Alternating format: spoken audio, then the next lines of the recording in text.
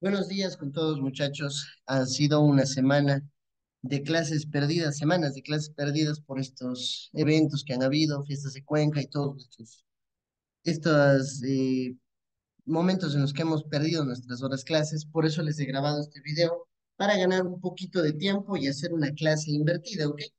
Por favor, quiero que revisen este video y adjunto a ello les voy a dejar una tarea. Este video también incluye preguntas que se deben contestar y que no se pueden adelantar. Así que por favor les pido que revisen el video completo. En las diapositivas que hemos estado revisando, nosotros estábamos trabajando con la diapositiva que se llama hidrostática. Si recordarán ustedes, esta diapositiva ha sido la que hemos estado usando durante estos días y hemos hablado sobre principios como la densidad, la presión, presión atmosférica, presión relativa, todos los tipos de presiones que también retroalimentamos en clases. Pero el tema que nos concierne que nos falta revisar es el principio de Blaise Pascal. Blaise Pascal fue un científico francés, físico, teólogo, teólogo católico, apologista, filósofo, bueno, entre todos sus aportes, eh, Blaise Pascal construyó la primera calculadora automática conocida, conocida como Pascalina en esa época, que utilizaba ruedas para realizar operaciones matemáticas básicas y utilizaban el principio del triángulo de Pascal, que tal vez lo hayan visto con su profesor o profesora de matemáticas. El triángulo de Pascal, bueno, entre paréntesis, no es exclusivo de Pascal, de hecho ya lo usaban los sumerios, griegos, egipcios, chinos desde hace muchos años, pero Pascal lo popularizó en su calculadora. Y el principio de Pascal, eso es lo que nos concierne a nosotros como estudiantes de física. El principio de Pascal es el principio de incompresibilidad del agua. ¿Qué quiere decir eso? Que el agua no se puede comprimir. Tú puedes comprimir aire, puedes tomar una jeringa y aplastarla y el aire logra comprimirse en el interior porque sus moléculas están muy dispersas. Pero el líquido no se puede comprimir más. Tiene esa propiedad en la que cuando tú intentas comprimirlo, al no ser compresible, esa presión se transmite en las paredes de todo el recipiente que lo contiene. Por ejemplo, en este caso tengo una jeringa, voy a quitar un rato la compartición, tengo una jeringa conectada a través de una pequeña manguera a una jeringa más pequeña. Si yo hago fuerza en la jeringa más grande, lo que voy a conseguir es que la jeringa más pequeña empiece a estirarse de esta forma. Esto tiene sentido porque el agua no se puede comprimir. Si el agua fuese compresible al yo hacer esto, no tendría por qué levantarse esto de acá. Pero funciona incluso del otro lado. Cuando yo haga fuerza para cerrar esta pequeña, se va a abrir la, la más grande. Bueno, lamentablemente esto es solo un mililitro, Tal vez no se logra apreciar todo el recorrido que hace la manguera, todo el recorrido que hace la jeringa grande, pero a ver si lo pongo cerca, tal vez se pueda apreciar un poco. Cuando yo cierre esta jeringa, va un poco más el émbolo grande. Bueno, eso es gracias a que el agua no puede comprimirse. Las historias dicen que Pascal realizó el mismo experimento subiéndose en una escalera gigante, tomando un tubo muy largo conectado a un barril de roble en la parte inferior y llenando el tubo hasta el tope. Cuando Pascal llenó el tubo completamente, el barril soportó tanta presión que explotó en muchos pedazos, demostrando ante el público que el agua era incompresible, y con lo que se ganó el término principio de Pascal. El principio de Pascal está resumido en la siguiente diapositiva, en la cual nos dice que una presión externa aplicada a un fluido encerrado se transmite por igual a cualquier punto del fluido y a las paredes del recipiente. Es decir, si comprimo ese pistón con agua, la compresión va a ser tal que se transmite a todas las paredes del pistón. Eso sucede en muchos elementos cotidianos, por ejemplo, una pasta de dientes. Cada vez que ejercemos presión con los dedos en la pasta de dientes, eso se transmite a todas las partes del líquido, de la pasta en el interior. Por eso podemos sacarla a través de la boquilla y si la pasta de dientes está sobre una superficie y yo le golpeo con la suficiente presión, entonces vamos a conseguir que la pasta salga disparada por lejos, debido a la alta presión que hay en su interior. Y en la derecha, en la imagen de la derecha, tenemos un, eh, un aparato que se utiliza muchísimo en el día a día para las personas que conducen autos, es una gata hidráulica que cuando un auto se daña normalmente tienes que cambiar la llanta, pero ¿cómo con tu fuerza humana levantas un auto? Muy complicado. Entonces utilizamos una gata hidráulica. Hacemos una pequeña fuerza nosotros y esa fuerza se transmite a través de un líquido en el interior de la, de la, de la gata hidráulica y se amplifica a tal punto en el que yo puedo levantar una Este es el principio de la gata hidráulica y de cualquier prensa hidráulica. Miren, la presión que se ejerce en esta cámara debe ser igual a la que sale por la cámara de acá. Presión 1, como hice con las jeringas, presión 1 debe ser igual a presión 2.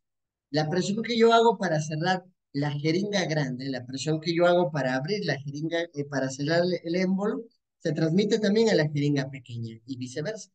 Entonces, la presión que hago aquí es la misma que sale acá. Pero como recordarán ustedes, la presión depende del área. Entonces, como las jeringas tienen áreas diferentes, una más ancha y una más pequeña, en ciertos casos voy a tener que hacer más fuerza para conseguir que una de las jeringas se abra. La pregunta está, ¿en cuál tendría que hacer más fuerza? La presión es la misma en las dos. Yo hago presión en la pequeña y se abre la grande. Hago presión en la grande y se abre la pequeña. Ok, ¿en cuál tengo que hacer más fuerza?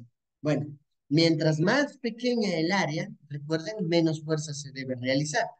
Entonces, para yo conseguir que la jeringa pequeña se hunda, debo hacer muy poca fuerza, ya que el área es pequeñita y la presión es la misma que sale acá.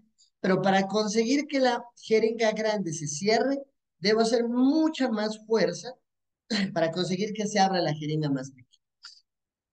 Eso viene estipulado en la fórmula que tenemos aquí. Como presión 1 y presión 2 son iguales, déjenme lo voy a marcar aquí. Como presión 1 y presión 2 son iguales, entonces pues fuerza 1 sobre área 1 es igual a fuerza 2 sobre área 2.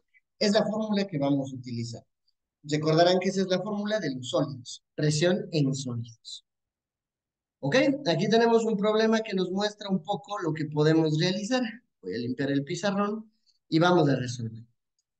Vamos a resolver el problema de aquí. El diámetro del pistón menor de una prensa hidráulica es de 8 centímetros y el mayor es de 20 centímetros. Vamos recolectando un poco la información. Entre la información, entre los datos que podemos tener, vamos a ver que el diámetro de la prensa hidráulica, el diámetro del primer pistón, es de aproximadamente 8 centímetros, el más pequeño. Y el segundo, que es más grande, tiene 20 centímetros. Diámetro 1, diámetro 2. 8 centímetros, 20 centímetros. Se aplica una fuerza de 600 newtons. ¿Cuál va a ser la fuerza resultante? Bueno, recordemos que las presiones deben ser las mismas. Presión 1 igual a presión 2. Como el área es más pequeña, requiero menos, requiero ejercer una fuerza sobre su superficie y es una fuerza menor. El resultado con esta área más grande va a ser una fuerza de respuesta mucho más alta. Pero vamos a estudiar eso, vamos a ejemplificarlo con la fórmula. Fuerza 1 sobre área 1 es igual a fuerza 2 sobre área 2. El ejercicio no nos da el área, nos da el diámetro. Y el área de un pistón, que técnicamente es un círculo, el área del círculo es pi por radio al cuadrado. En el caso del primero sería pi por... ¿Cuánto es el diámetro? Es 8 centímetros, así que el radio sería la mitad de 8, sería 4. Entonces, querrá decir que si quiero el radio a partir del diámetro, aquí se ilumina, si quiero el radio a partir del diámetro, tengo que dividir para la mitad. Igual acá. Dividir para la mitad. Entonces, la primera área sería A por 4. Área 1 es igual a pi por 4 al cuadrado, lo cual me da 16 pi centímetros cuadrados. Ese es el área 1. En el caso del área 2, tendría que ser también pi por radio al cuadrado. En ese caso, el radio es de 10 al cuadrado, que me da 100 pi. Ahora, venimos a la fórmula y reemplazamos. Fuerza 1, 600. Sobre área 1, la cual es 16 pi. Es igual a fuerza 2, no la conocemos. Sobre área 2, que es 100 pi. En el proceso de despeje vamos a encontrar que fuerza 2 es igual a 600 multiplicado por 100 pi dividido entre 16 pi, donde tranquilamente podemos simplificar los pi, los valores de pi, y me va a quedar pues el valor de 600 multiplicado por 100 y dividido para 16. Podemos realizar eso en la calculadora, podemos intentar hacerlo a mano, la mitad de 16 es 8, la mitad de 600 es 300, la mitad de 8 es 4, la mitad de 300 es 150, la mitad de 4 es 2, la mitad de 150 es 75, la mitad de 2 es 1, la mitad de 150. Bueno, el resultado va a ser 50 por 75, eso nos da 3.750 newtons. Quiero que observen ese detalle importante. La presión que se ejerce sobre el pistón 1 se amplifica a tal punto que 600 newtons de fuerza, 600 newtons de fuerza en este pequeño pistón de aquí, dan como resultado 3.750 newtons de respuesta en el pistón más grande. Esto debido al principio de Pascal. Recuerden que esto no es una violación de una ley física, no es que se está creando fuerza de la nada. No, estamos aprovechando que las presiones son iguales. De hecho, demuestra una ley física, ya que presión 1 es igual a presión 2 pero la diferencia está en las áreas. Debido a que un área es pequeña y la otra es más grande, recuerden ustedes, lo hicimos en clases utilizando pues una tabla con un cuchillo, les demostré que ante áreas pequeñas la presión aumenta mucho. En este caso, como las presiones son las mismas, ante áreas grandes, la fuerza resultante pues es mucho. Esa sería la explicación del tema que hemos tenido que revisar en clases, pero no hemos podido, así que yo espero puedan revisar el video en su totalidad y les agradezco mucho por su atención. Muchas gracias.